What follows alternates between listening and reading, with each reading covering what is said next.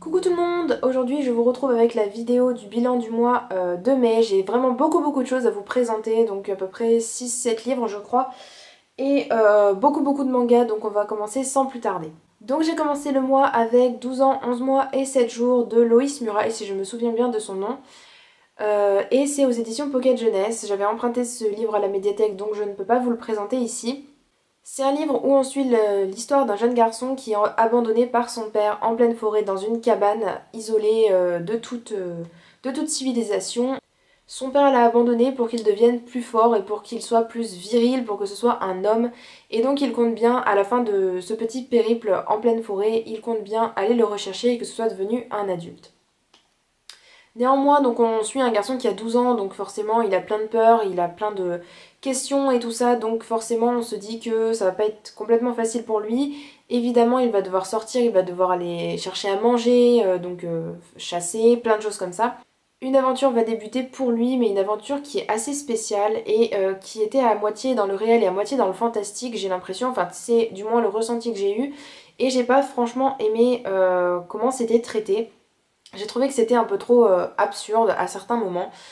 Ensuite, on découvre que finalement, son père ne l'a pas abandonné uniquement pour cette raison, et euh, ce qu'il y a derrière est bien plus horrible, bien plus dangereux, on va dire, que euh, bah, le simple fait déjà de l'abandonner en pleine forêt comme ça.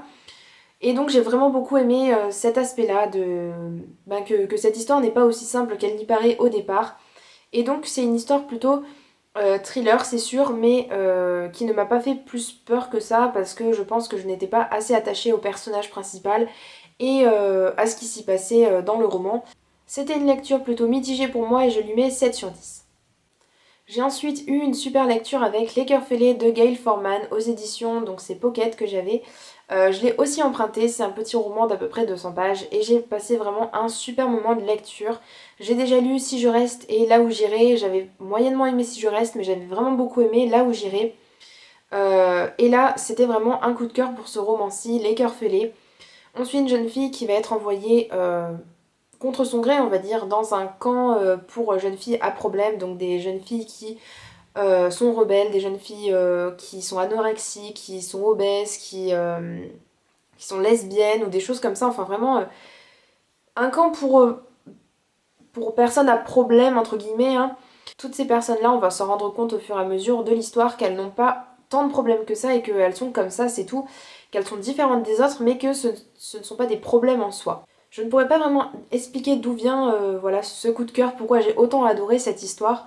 Mais j'ai vraiment aimé euh, ces personnages-là, ces, filles qui sont euh, toutes dans le même bateau et euh, qui vont lier une amitié très forte entre elles et qui vont tout faire pour, bah, pour montrer aux gens qu'elles sont normales et que ce camp est vraiment atroce. Il leur fait faire des choses inhumaines et elles, elles, souffrent vraiment dans ce camp. La différence n'est pas un problème en fait, c'est un, un, peu ça je pense le message de ce livre et je trouve qu'il est vraiment très beau et euh, j'ai vraiment tout aimé. Euh, il y a une petite romance aussi mais qui est vraiment en arrière-plan et qu'on ne voit quasiment jamais. Donc euh, j'ai vraiment adoré cette lecture, je vous la conseille vraiment beaucoup et donc je lui mets 10 sur 10. J'ai ensuite lu Quelqu'un qu'on aime de Séverine Vidal aux éditions Sarbacane dans la collection Exprime. C'est le premier livre de la collection Exprime que je lisais et j'étais plutôt... comment dire? C'était pas une super lecture mais j'ai passé quand même un bon moment avec ce livre. On suit un jeune garçon qui décide d'emmener son grand-père en road trip, mais tout ne va pas se passer comme prévu. Donc au départ, euh, ce jeune garçon, donc il doit avoir 17 ou 19 ans, je sais plus, quelque chose comme ça, euh, il a décidé d'emmener son grand-père euh, bah, sur les routes d'une ancienne tournée d'un groupe ou d'un chanteur qu'il aimait bien, pour en fait lui faire revenir des souvenirs qui sont enfouis au plus profond de lui. Euh, puisque ce grand-père a Alzheimer et du coup euh, bah, pour les dernières années de sa vie, euh, les derniers souvenirs, il voudrait que ce soit les plus beaux de sa vie. Mais finalement, comme je le disais, ça ne va pas se passer comme prévu et ils vont se retrouver, au lieu d'être deux, ils vont se retrouver à cinq. Donc ils vont emmener une petite fille, une dame et un jeune homme.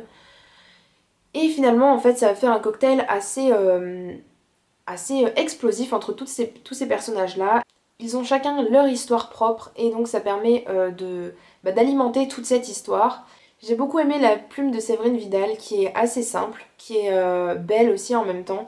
Et l'histoire est assez touchante mais en même temps sans être dramatique puisque bien sûr on parle d'une maladie qui affecte la santé mentale d'une personne. Et c'est triste, c'est douloureux tout ça. Mais l'auteur arrive toujours à nous faire voir ça un peu après ces moments voilà, de douleur, ces moments de tristesse euh, l'auteur arrive toujours à nous faire ressortir la positivité et euh, l'envie de vivre de ses personnages et euh, c'est je trouve une bonne leçon de vie. Donc je lui ai mis 7,5 sur 10. J'ai ensuite lu Bird Box de Josh Mellerman aux éditions Calman Levy ou Orbit, je sais pas trop, Calman Levy Orbit, enfin voilà. J'ai adoré ce thriller, il est vraiment prenant, il est vraiment angoissant.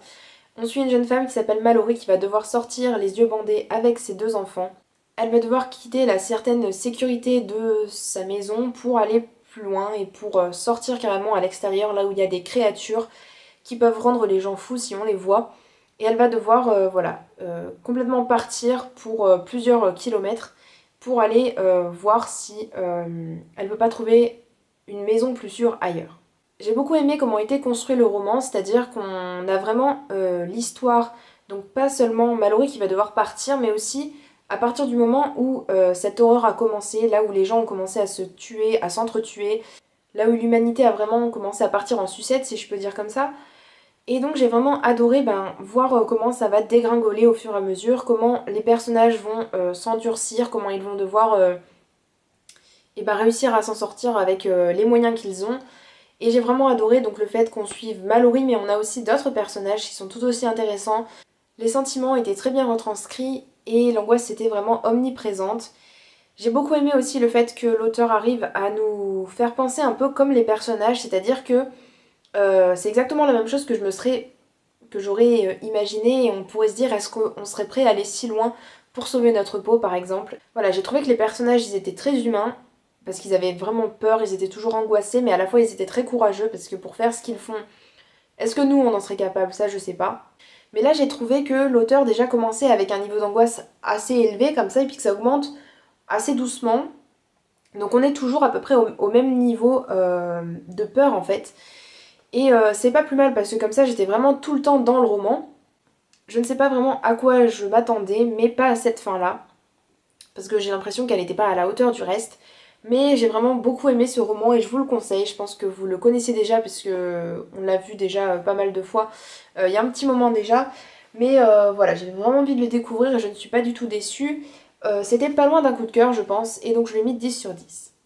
J'ai ensuite lu Laisse brûler d'Antoine Doll aux éditions Sarbacane dans la collection Exprime. J'avais pris un peu ce livre sur un coup de tête et je ne savais pas du tout à quoi m'attendre et finalement j'en ressors assez assez bizarre de ce roman parce que euh, d'un côté, euh, je sais pas en fait si je l'ai aimé ou pas. C'est un livre assez court mais il fait vivre vraiment beaucoup beaucoup d'émotions. Euh, on suit donc plusieurs personnages, trois garçons. Noah, qui est un jeune garçon qui a eu une déception amoureuse et qui n'arrive pas à s'en remettre. Et donc on est vraiment dans ses pensées et en fait que ce soit dans les pensées de Noah, Julien ou Maxime, on voit vraiment que c'est des personnages torturés, qu'ils ont des gros problèmes et donc chacun souffre un peu à sa manière et euh, c'est vraiment quelque chose qui, m'a pris et qui m'a pas lâché jusqu'à la fin. Euh, j'étais un peu bizarre en fait au, départ parce que je m'attendais pas à ce style d'écriture là. C'est quelque chose à la fois qui est brut, euh, avec toutes les émotions, toute la noirceur qu'on peut percevoir, mais à la fois c'est une plume qui est très travaillée avec plein de métaphores et plein d'images et tout ça. Et finalement, au fur et à mesure que j'avançais dans le livre, je me disais non mais c'est pas possible, non mais c'est pas ça, c'est pas ça, j'y crois pas, non. Et, à chaque fois, euh, voilà, au fur et à mesure que l'histoire avançait, j'y croyais pas, je, je m'attendais pas du tout à ça. Et donc j'ai vraiment euh, été surprise par ce roman. Donc c'est vraiment un roman original et je vous le conseille si vous voulez avoir peut-être un peu autre chose parce que moi franchement entre les dystopies, les histoires contemporaines que je lis d'habitude, c'est vraiment un style particulier euh, et donc j'ai plutôt bien apprécié en fait ma lecture même si c'est vraiment euh, différent de ce que je lis d'habitude, donc je lui ai mis 8 sur 10. Donc maintenant on va passer à la partie manga, et là j'ai quand même pas mal de choses à vous présenter. Donc on va commencer avec euh, ce que j'ai emprunté à la médiathèque. Donc d'abord j'ai emprunté Vampire Night, donc la série de Matsuri Ino je crois qu'elle s'appelle, aux éditions Panini Manga. Je ne les ai pas avec moi, je les ai déjà rendus, donc il y avait le tome 2 et le tome 3. Je vous ai fait déjà une vidéo présentation du tome 1, donc je vous la mettrai en barre d'infos pour que vous alliez voir si ça vous intéresse. Euh, dans ce tome 2 et ce tome 3, il y a toujours beaucoup de choses qui se passent. Donc on retrouve Yuki, notre héroïne, qui est humaine et qui doit évoluer parmi bah, des vampires. Elle est la gardienne en fait un peu de l'école et elle doit en fait empêcher les humains de savoir qu'il y a des vampires parmi eux. Et elle est aussi avec Zéro, donc qui est aussi un autre gardien. L'auteur étoffe vraiment son univers et nous montre vraiment bah, commence à nous exposer un peu tout, ce qui se passe dans cet univers-là. On a aussi des nouveaux personnages qui sont introduits euh, concernant le passé euh, d'un des personnages et aussi euh, un personnage qui a l'air vraiment malsain et qui, je pense, va mettre un peu, va semer un peu la zizanie dans cette école qui allait plutôt pas mal jusqu'à jusqu'à ce qu'elle arrive.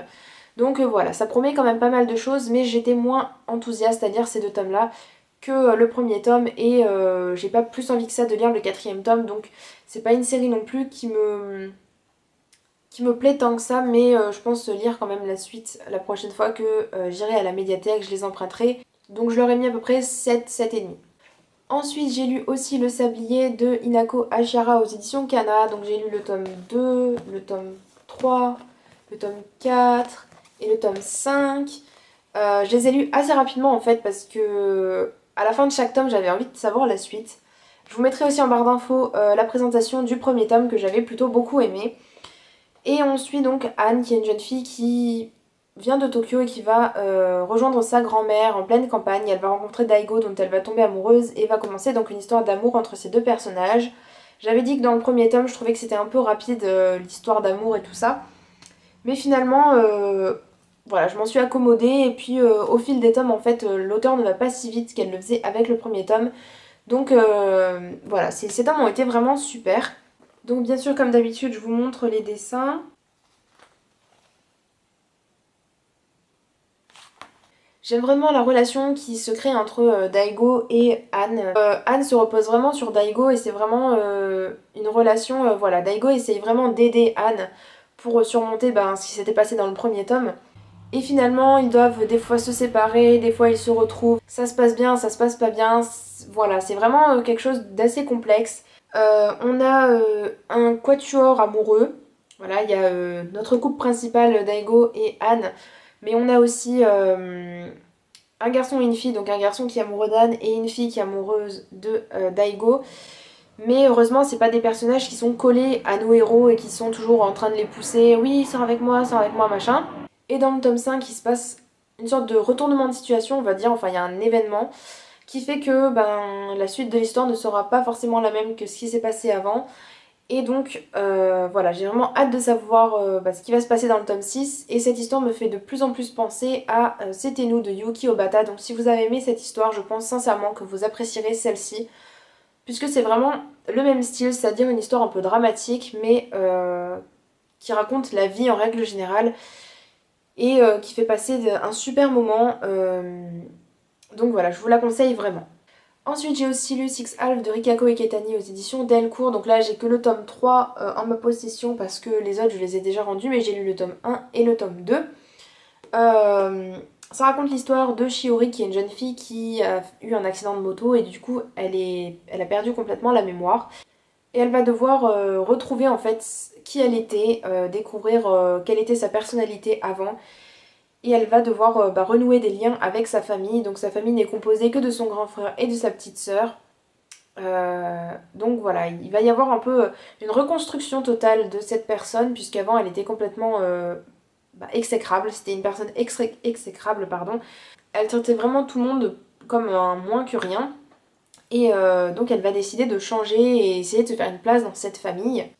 La romance commence à partir du deuxième tome, mais elle n'est vraiment pas le point central. Je vous mettrai en barre d'infos euh, le lien pour la vidéo euh, où je vous présente le premier tome. Donc je vais vous montrer les dessins.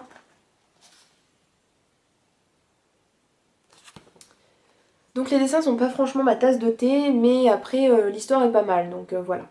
Ensuite et pour finir avec les livres que je n'ai pas en ma possession, enfin que je ne possède pas, euh, j'ai lu aussi Rainbow Days, donc je ne me souviens plus du nom de l'auteur. Donc j'ai lu le tome 1 aux éditions Kazé. Euh, je vous mettrai aussi peut-être en barre d'infos la vidéo euh, présentation que j'ai faite. Mais je ne pense pas que je l'aurai posté à ce jour, mais bon, au cas où, je vous mettrai quand même en barre d'infos. la série est encore en cours au Japon avec 12 tomes si je ne me trompe pas. Et euh, c'est une série qui me tente pas plus que ça, enfin voilà, le résumé ne m'attirait pas plus que ça, les dessins ne me plaisent pas vraiment. Euh. On suit un jeune garçon qui a rencontré une jeune fille dans la rue et quelques jours plus tard il se rend compte que cette jeune fille est aussi dans le même lycée que lui. Et il se dit que c'est le destin et que euh, voilà, cette fille est faite pour lui. Et donc il a automatiquement envie de sortir avec elle, mais malheureusement il ne se voit jamais, il ne se côtoie jamais, il ne lui a jamais parlé ni rien du tout. Donc il va devoir faire le premier pas, aller vers elle, commencer à discuter. Sauf que c'est un jeune homme très très timide et donc grâce à ses amis, ses trois autres amis, il va euh, réussir à l'approcher au fur et à mesure un peu euh, bah, discuter avec elle. Donc euh, les trois amis de ce garçon, il y a un sadique, un otaku et un dragueur. Donc c'est trois personnages qui, sont vraiment voilà, qui sont vraiment stéréotypés pour rentrer dans cette case-là de sadique, otaku et dragueur. C'est ce qui fait, je pense, le charme de ce manga, enfin ce qui est censé faire le charme de ce manga. Mais ça ne l'a pas fait avec moi. J'ai trouvé que oui, il y avait des moments un peu comiques, un peu marrants, mais que euh, le fond de l'histoire était à peu près euh, comme d'habitude et j'étais pas plus emballée que ça par, euh, par ce manga. Donc voilà, je vais passer mon chemin pour celui-ci. Mais il y a aussi un animé, donc si vous voulez essayer l'animé, pourquoi pas. Donc ensuite pour les autres mangas, j'ai d'abord à vous présenter I Love You Baby de Miko Komori aux éditions Panini Manga. C'est le premier tome, donc j'ai entamé une nouvelle série. C'est un manga que j'ai adoré. Franchement, je l'ai adoré. J'avais hésité à le prendre parce que le résumé fait vraiment gnangnan, il fait vraiment euh, cliché et puis euh, enfin a l'air vraiment euh, horrible. C'est une jeune fille Mireille qui est collégienne et sa mère l'interdit de sortir parce qu'elle est... Même des lycéens veulent sortir avec elle. Donc voilà, ça fait vraiment cliché au possible et voilà, ça a l'air vraiment... ça n'a pas l'air vraiment super quoi. Mais franchement, euh, c'était super, c'était super mignon, super euh, léger. Euh, les héros sont, trop mignons, ils commencent à apprivoiser un peu le début de leur histoire d'amour, tout ça. J'ai vraiment adoré ça. c'est une série qui est terminée en 4 tomes. Donc elle va être vraiment courte. Le tome suivant sort le 29 juin et j'ai vraiment trop hâte de savoir la suite. Et bah, je peux que vous conseiller cette série. Euh, et je vous mettrai en barre d'infos si je l'ai posté euh, la vidéo présentation du premier tome, enfin de ce tome là pour euh, plus en détail. Mais j'ai vraiment adoré, je vous le conseille. Et donc je vais vous montrer les dessins. Voilà, et je vais vous montrer le même que j'ai montré dans, la vidéo présentation. C'est celui-là que j'adore. Voilà. Avec le petit chien et tout, avec la, la fille. Enfin c'est trop trop mignon je trouve. Enfin voilà, donc euh, je ne peux que vous conseiller ce manga. Ensuite, j'ai aussi lu le tome 6 de Daytime Shooting Star de Mika Yamamori aux éditions Kana. Euh, on arrive à la moitié de la série puisqu'elle comporte 12 tomes pardon, et qu'elle est terminée au Japon. J'aime toujours autant les couvertures qui sont, euh, je trouve, assez originales.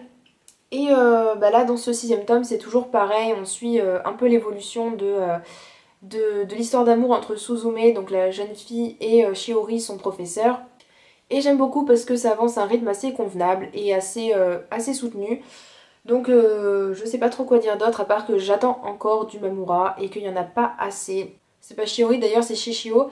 Mais euh, Shishio euh, prend vraiment les devants et ça commence à être assez sérieux entre ces deux personnages. Donc voilà, j'ai hâte de savoir la suite. Et je vous montre les dessins J'ai aussi lu le tome 3 de Please Love Me de Aya Nakara aux éditions Delcourt. Euh, j'ai beaucoup aimé ce tome-ci, je trouve que euh, voilà, il, fait peut-être euh, débuter une histoire un peu différente de celle à laquelle j'avais imaginé au début. Donc là on suit donc notre héroïne Michiko qui est une jeune femme de presque 30 ans qui s'est toujours fait avoir par les garçons et là elle vit avec son boss, enfin son ancien boss Kurosawa qui est donc sur la couverture là. Et elle se rend compte qu'elle a des sentiments pour lui, mais voilà, c'est pas réciproque du tout, donc euh, voilà, elle essaye d'effacer ça de, sa mémoire, de son cœur et de tout ça. Heureusement, elle va rencontrer un garçon qui, euh, travaille au même endroit qu'elle et il va lui demander euh, de sortir avec elle, d'avoir des rendez-vous, d'aller au restaurant, tout ça. Et donc il va se passer quelque chose entre eux et elle se dit, Michiko, que c'est peut-être une histoire d'amour qui va commencer et donc là voilà, c'est vraiment quelque chose de différent que j'avais imaginé au départ. Je pensais vraiment qu'il allait y avoir quelque chose de plus simple, c'est-à-dire juste une histoire entre les deux personnages principaux. Mais là on voit déjà que l'auteur va, vers quelque chose de différent et j'aime plutôt bien ça. Ensuite j'ai aussi lu Inséparable le tome 9 de Aiminase aux éditions Panini Manga. J'ai trouvé que ce tome-ci était plutôt un tome de transition entre, entre le tome 8 et le tome 10. Euh, au, début, donc au début de ce tome-ci, on finit l'histoire de Natsuki et sa famille. À la fin, on a euh, notre héroïne qui va devoir cohabiter avec le garçon qui l'aime. Euh, mais c'est un amour non réciproque. Néanmoins, Natsuki a quand même peur qu'il se passe quelque chose entre eux et donc ça le rend très jaloux. Et voilà, on retrouve toujours ce petit côté de Natsuki qui est assez jaloux et qui veut protéger Koharu et qui veut voilà l'avoir pour lui tout seul. Et je trouve ça très très mignon et voilà, j'ai hâte de savoir ce qui va se passer dans le tome 10. En tout cas, donc ce tome-ci n'était pas non plus exceptionnel. Euh, comme je vous le disais, il ressemble plutôt à un tome de transition. En tout cas, j'ai quand même bien apprécié ma lecture. Et pour finir, euh, un des mangas que j'ai le moins aimé de cette fois-ci, c'est Mon Histoire, l'automne 8 de Haruko et Katsune Kawahara aux éditions Kana. Comme je vous le dis d'habitude, bah, c'est une série que je suis, mais que je suis un peu à contre-coeur puisque c'est pas une série que j'adore. Euh, on rencontre donc Takeo qui est un garçon euh, qui sort avec Yamato depuis pas mal de temps. Dans cette série-là, ben, je trouve que le couple n'évolue pas énormément. Au début, Takeo rencontre euh, les parents de Yamato, donc ça permet un peu de faire avancer ce couple aussi. Mais ensuite, on va se concentrer sur Ai, qui est euh, une jeune fille qui aime Takeo, mais qui ne lui a jamais avoué. Et on va suivre le couple Ai et le garçon qui l'aime. Mais leur amour n'est pas réciproque, donc voilà. C'est un garçon plutôt chiant, plutôt collant, qui colle beaucoup Aïe et qui euh, lui dit tous les jours euh, qu'il l'aime et tout ça, que c'est la femme de sa vie, mais elle, elle veut rien entendre. Et euh, voilà, c'est sur ce couple-là que va surtout se porter ce tome 8. J'ai plutôt bien apprécié, on va dire, dans l'ensemble, mais c'est vrai que voilà, je commence un peu à me lasser de cette série. On ne voit pas vraiment où l'auteur veut nous mener. Donc voilà, c'est enfin fini pour toutes mes lectures du mois de mai, j'en avais quand même énormément. Voilà, j'espère qu'elle vous aura plu et je vous dis à bientôt dans une prochaine vidéo. Ciao ciao